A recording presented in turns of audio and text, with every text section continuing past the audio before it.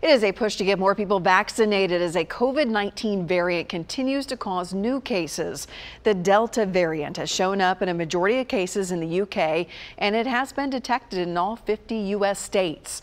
News Channel 5's Kelsey Gibbs spoke to Dr. James Hildreth, who says this variant spreads more quickly than others.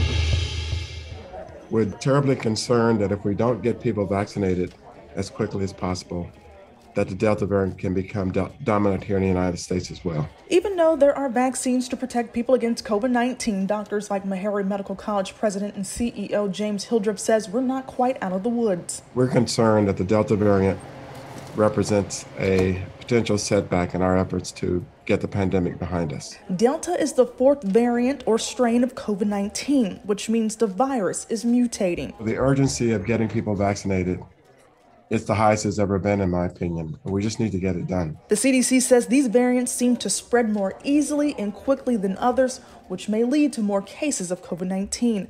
The Delta variant compromises 95% of all new cases in the United Kingdom, and it's prompting new lockdowns in Asia and Australia.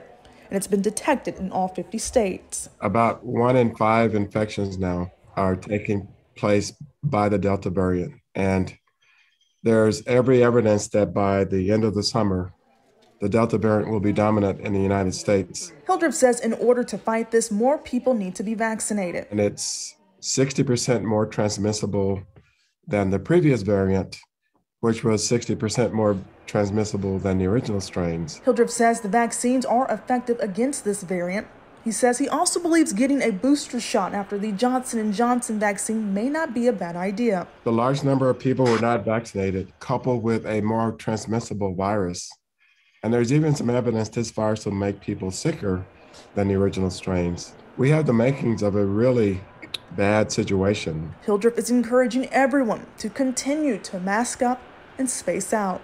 Kelsey Gibbs, News Channel 5.